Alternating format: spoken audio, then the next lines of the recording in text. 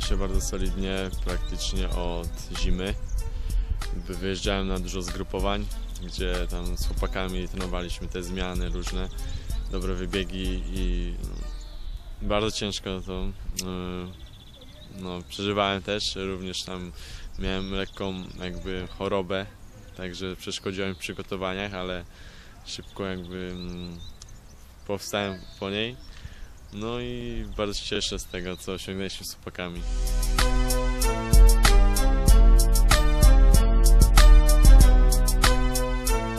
Tak po cichu z chłopakami chcieliśmy na chociaż brązowy medal, bo mieliśmy naprawdę w tym roku mocną ekipę. No ale że srebro, no to sami siebie przeskoczyliśmy.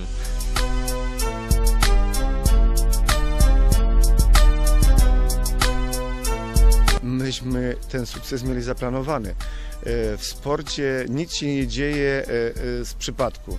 Te przypadki, jeżeli się zdarzają, to one się zdarzają ewentualnie w bardzo niewielkim procencie, natomiast reszta, wszystko to jest planowana praca i myśmy z Rafałem mieli zaplanowane 46-50 na ten rok. Rafał zrobił 46-80, z tym, że sezonie nie było możliwości po prostu tego zrobienia, tych 46-50. Jeszcze Rafał y, próbował tego, to zrobić na Mistrzostwach Świata, bo było wiadomo, że bieg indywidualny jest mm, jakby dodatkiem do tej sztafety, no ale za bardzo mocno pobiegł pierwsze 300 metrów, nie wytrzymał jeszcze e, ostatniej setki, ale ten bieg na, e, w biegu indywidualnym procentował na pewno w sztafecie, bo w sztafecie był doskonały.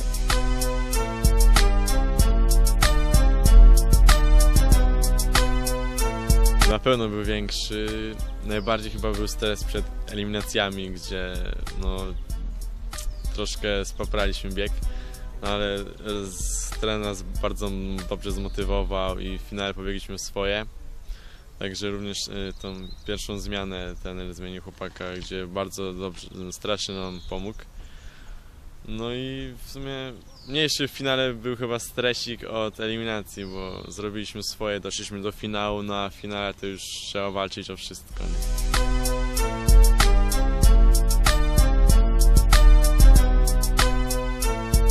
Pierwsze treningi w Wiktorii to 5 lat temu u trenera Morki zaczynałem, no i jako młodzik na pewno było ciężko technikę ułożyć ym, do tego biegania, kondycję oczywiście, bo to jeszcze byłem dziecko, można powiedzieć. No i na początku ciężko się trenowało, ale później już jak ten ułożył plan, no to my spróbowaliśmy go realizować.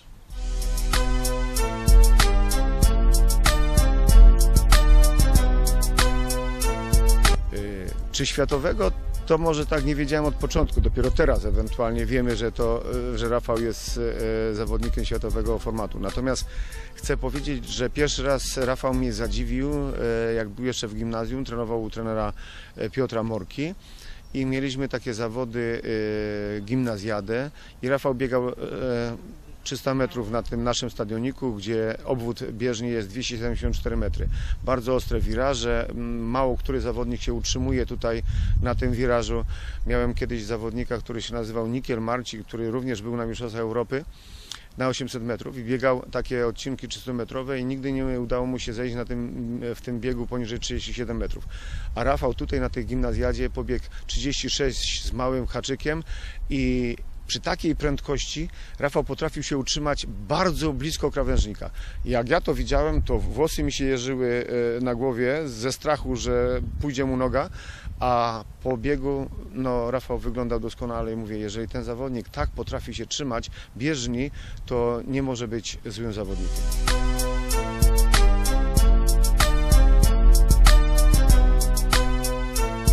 No byłem znaczy zaskoczony i szczęśliwy, że tyle ludzi o tym wie i, i się cieszy razem ze mną.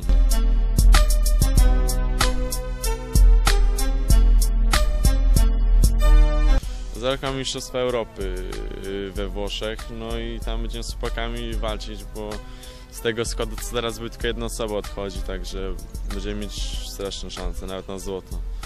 Marzenia, no na pewno za 4 lata do Rio na Olimpiadę się dostać. Mm, chyba to jest to największe. Nie? Na pewno będę ciężko trenował przez te 4 lata, żeby się tam dostać.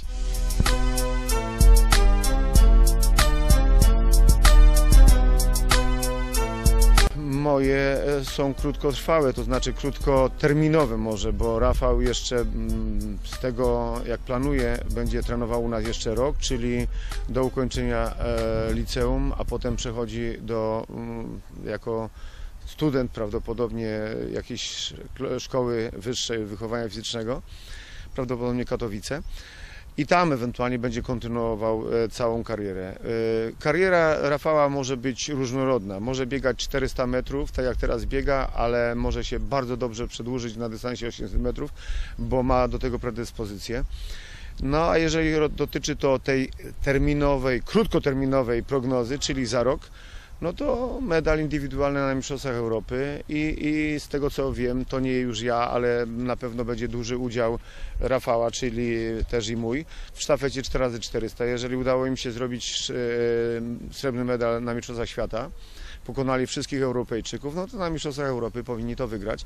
Więc życzyłbym mu dwa medale i to złote, indywidualnie na 400 i, i w sztafecie 4x400. Także jeżeli by tak zakończył, byłby to mm, podsumowanie idealne pobytu w szkole mistrzostwa sportowego i startując e, w barwach e, klubu Wiktoria Racibórz.